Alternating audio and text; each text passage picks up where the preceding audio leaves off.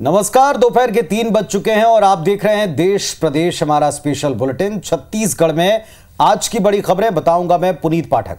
और मैं हूँ आपके साथ आकांक्षा पांडे मैं आपको बताऊँगा कि आज देश की बड़ी खबरें क्या हैं। बहुत बहुत स्वागत है आप सभी का मैं हूँ आपके साथ अविनाश कर। मध्य प्रदेश में कौन सी खबरें बनी है सुर्खियाँ बताऊँगा मैं आपको। यानी मध्य प्रदेश छत्तीसगढ़ और देश हर जगह की बड़ी खबरों से अपडेट कराएँगे हम तीन एंकर्स एक साथ। तो अगले आधे घंटे हमारे साथ देश प्रदेश की 30 अहम खबरों को देखिए बने रहिए आईबीसी 24 के साथ। दिल्ली में गृह मंत्री और राष्ट्रपति से मिलने के बाद बस्तर के आदिवासी रायपुर आ चुके हैं। तकरीबन 70 नक्सल पीड़ित और प्रभावित आदिवासी दिल्ली दौरे पर गए थे।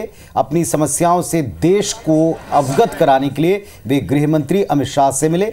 गृह मंत्री ने उनको फिर भरोसा दिया कि अगले दो सालों में नक्सलवाद का सफाया होगा। राष्ट्रपति भवन जाकर राष्ट्रपति से भी उनकी मुलाकात हुई है। इसके अलावा जंतर मंतर पर एक प्रदर्शन किया है। इस पूरे दौरे के दौरान असल में क्या पीड़ितों की स्थिति होती है, किस तरह वे दो तरफा पार्टों के बीच में पिस्ते आए हैं, इसे खुलकर उन्होंने बयां किया है। आज वे लौटे हैं, प्रदेश वापसी उनकी हो चुकी है।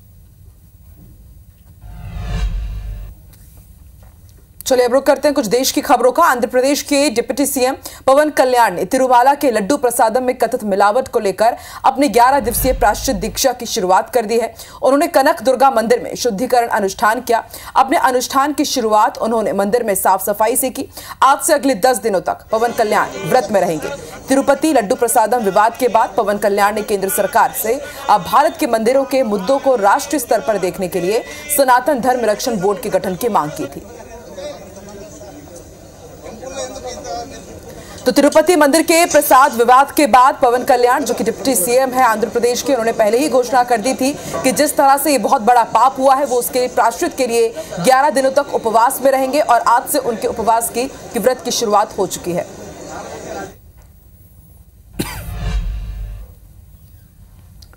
तिरुपति मंदिर के प्रसाद विवाद मामले पर घमासान लगातार जारी है। कथावाचक पंडित प्रदीप मिश्रा और पंडित धीरेन्द्र कृष्ण शास्त्री ने भी इस पर अपनी प्रतिक्रिया दी है। पंडित प्रदीप मिश्रा ने इसे साजिश बताया। मिश्रा ने कहा कि कुछ चाल के तहत ये कृत्य किया गया है। वहीं धीरेन्द्र कृष्ण शास्त्री ने कहा कि कल तुम्हारे घर में भी मछली का तेल पहुंचेगा। धर्म भ्रष्ट करने वालों को करारा जवाब मिलना चाहिए।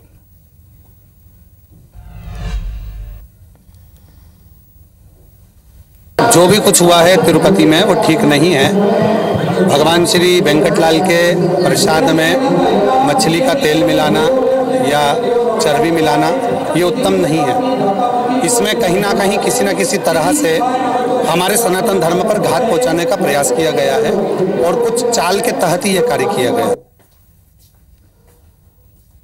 तिरुपति बालाजी के प्रसाद में मछली का तेल खिलाया।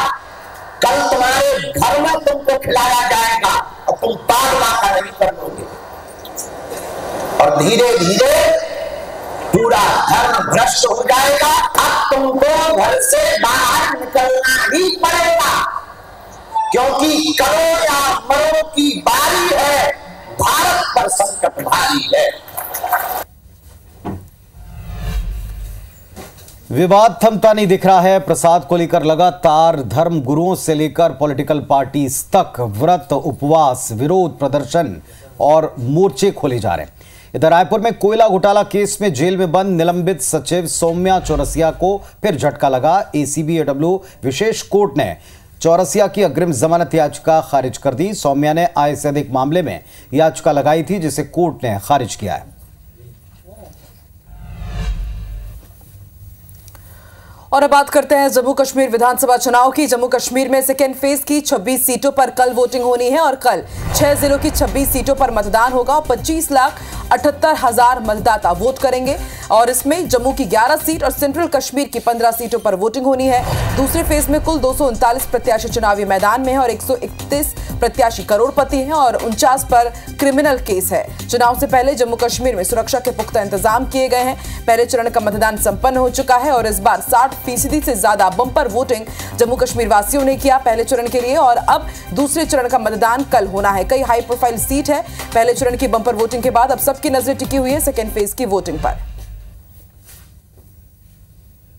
तो दो तस्वीर हम आपको दिखा रहे हैं। मतदान की तैयारी पूरी कर ली गई है। ये तमाम जितने भी अधिकारी हैं, वो अपनी जितनी भी तैयारी है, उसे पूरी कर रहे हैं। और दूसरी तस्वीर आप देखिए, सुरक्षा के पुख्ता इंतज़ाम है, क्योंकि चुनाव से पहले लगातार हम देख रहे हैं कि आतंकी घुसपैठ करने की कोशिश कर रहे हैं। हालाँकि सुरक्षा बलों ने उन्हें मुंहतोड़ जवाब दिया है और दूसरे चरण के मतदान से पहले भी सुरक्षा के पुख्ता इंतज़ाम यहाँ किए गए हैं।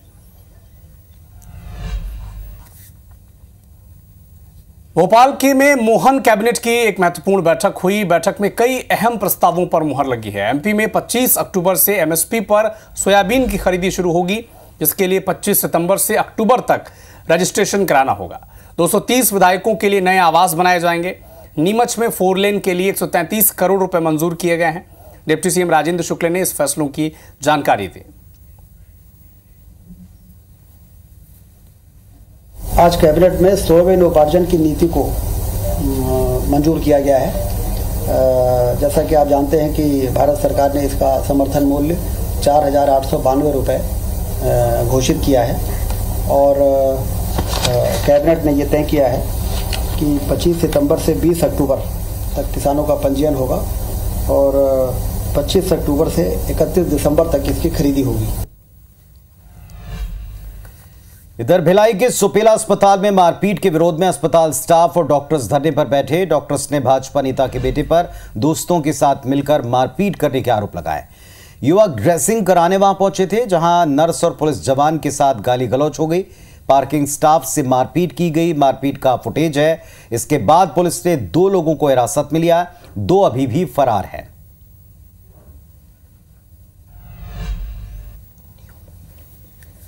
केंद्रीय गृह मंत्री शिवराज सिंह चौहान, माफ़ कीजिएगा, केंद्रीय कृषि मंत्री शिवराज सिंह चौहान ने आज किसान संघों के साथ बैठक की। अब से वो हर मंगलवार को किसान संघों के साथ बैठक करेंगे। इस बैठक में किसान संघ ने, किसान संघों ने अपनी मांग से शिवराज सिंह चौहान को अवगत कराया बैठक के बाद केंद्रीय कृषि मंत्री ने कहा कि फ़सलों के एमएसपी के साथ ही आवारा पशुओं के संबंध में भी चर्चा हुई है। किसानों की मांग पर विभाग विचार कर रहा है। अलग अलग किसान संगठनों से बातचीत प्रारंभ की। लगभग 50 प्रमुख किसान नेताओं से आज मैंने भेंट की है। अनेकों सुझाव उनके आए हैं। कुछ फ़सलों के मूल्य से संबंधित है, कुछ फ़सल बीमा योजना के बारे में है, जो पशु खुले घूमते हैं, उसके कारण फ़सलों के नुकसान के बारे में है। मैं ऑफिसर्स की टीम के साथ बैठा था, उनको हम वर्कआउट करेंगे। और वर्कआउट करके उनमें से जो हो सकता है वो करने का प्रयत्न हम करेंगे। मध्य प्रदेश में गरबा पर गदर मचा हुआ है। भोपाल में गरबा पर पूर्व मंत्री उषा ठाकुर का बयान सामने आया है। कहा है कि गरबा में भी आईडी कार्ड अनिवार्य होना चाहिए और पहचान के साथ ही गरबा स्थल में एंट्री मिलनी चाहिए। तो लगातार मध्य प्रदेश में गरबा को लेकर अब सियासत गर्म हो चुकी है। जिस तरह से कल हिंदू महासभा, बजरंग दल, विश्व हिंदू परिषद ने ज्ञापन सौंपा और इन गरबों में बाकायदा आधार कार्ड के साथ एंट्री की मांग की और इसी मांग को अब पूर्व मंत्री उषा ठाकुर ने भी दोहराया है और कहा है कि पहचान पत्र के साथ ही गरबा स्थल में एंट्री मिलनी चाहिए। नवरात्र का ये जो पर्व है, ये शक्ति और साधना का पर्व है। आईडी तो आप जानते हैं, हर क्षेत्र में कंपलसरी अनिवार्य है। तो गरबा में भी आईडी कंपलसरी होनी चाहिए। अपनी बहन, बेटी, पत्नी के साथ आइए और शामिल होइए, कोई आपत्ति नहीं है। पर अपनी पहचान छुपाकर आप लव जिहाद को बढ़ावा नहीं दे सकते। अब खबर महाराष्ट्र के बदलापुर से इधर आरोपी के एनकाउंटर के बाद लोगों ने जश्न मनाया है। रेलवे स्टेशन में लोगों ने मिठाइयाँ बांटी। कल मासूम से रेप के आरोपी का एनकाउंटर हुआ था। शहर के नामी स्कूल में दो मासूमों के साथ रेप हुआ था।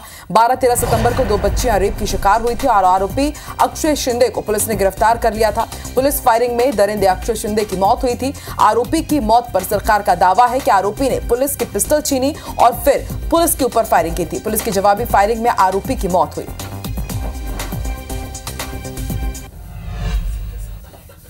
मध्य प्रदेश में मासूमों से हुए अनाचार के मामले में मानवता शर्मसार हो ही चुकी है। हरदा और मुरैना में मासूमों से दुष्कर्म के दो मामले सामने आ चुके हैं। हरदा के छीपाबड़ थाना क्षेत्र में एक पाँच वर्षीय मासूम के साथ आदतन आरोपी ने उसे नदी किनारे वो ले गया और दुष्कर्म की वारदात को अंजाम दिया। जबकि गाँव वाले की नज़र जब उस पर पड़ी तो आरोपी मासूम को छोड़कर फरार हुआ।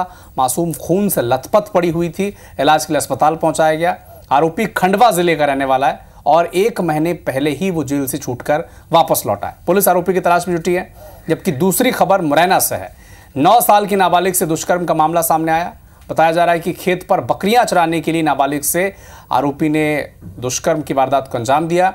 स्थिति गंभीर है नाबालिग की, अस्पताल में उसे भी भर्ती कराया गया है। हालाँकि आरोपी को पुलिस ने 10 घंटे के भीतर ही गिरफ़्तार कर लिया। आरोपी की गिरफ्तारी के बाद इलाके में आक्रोश है। छोटी सी बच्ची के साथ एक आरोपी के द्वारा उसका अपहरण करके नदी के पास ले जाकर बलात्कार किए जिस पर से आरोपी के विरुद्ध अपराध पंजीबद्ध कर लिया गया है। आरोपी को जल्दी से जल्दी गिरफ़्तार और जो आरोपी को शरण देने वाला है उनको भी गिरफ़्तार किया जाए क्योंकि उसके ये दूसरा ये तीसरा केस है उसने ये हरकत करी। इसके बाद में मतलब प्रशासन उसको छोड़ देता है और वो फिर ये हरकत कर रहे हैं।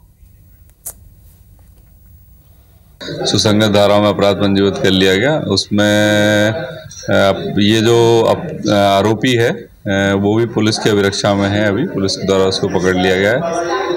और जो भी वैधानिक कार्रवाई हो रही है, बच्ची जो है, उसकी स्थिति स्टेबल है अभी। इधर बिलासपुर में एक पटाखा दुकान में भीषण आग लगने से चारों तरफ़ अफरा तफरी का माहौल बन गया। आग लगने के बाद दुकान में धमाके शुरू हो गए। आसमान में धुएँ का गुबार दूर से देखा गया। धमाके से आसपास के लोगों में काफ़ी दहशत रही। पूरी घटना तोरवा थाना क्षेत्र के जगमल चौक के पास की है। तस्वीरें आपकी टीवी स्क्रीन पर है। देखें आप जैसे विस्फोट के साथ धुएँ का गुबार उठा, आसपास अफरा तफरी का माहौल बना।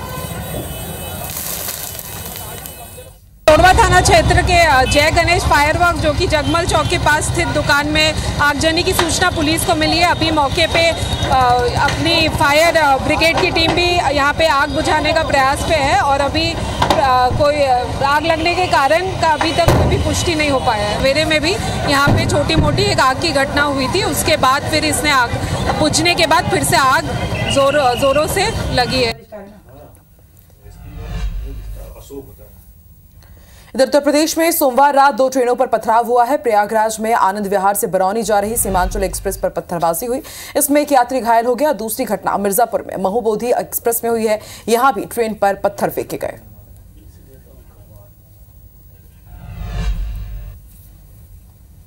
और इसी के साथ देश और प्रदेश में फ़िलहाल इतना ही। देश और दुनिया की तमाम बड़ी खबरों के लिए आप आईबीसी 24 देखते रहिए और आगे देखिए हमारा खास कार्यक्रम स्वयंभू। फ़िलहाल हमें दीजिए इजाज़त। नमस्कार। नमस्कार।